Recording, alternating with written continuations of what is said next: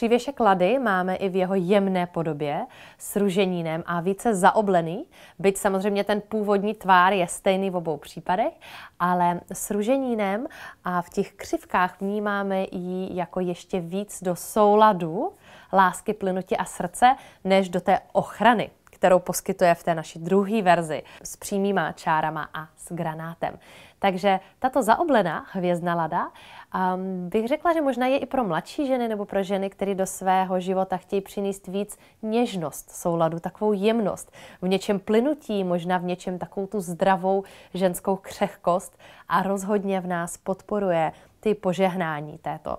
pradávné staroslovanské bohyně a to je to ladné plynutí v kráse, plodnosti a lásky plným partnerství.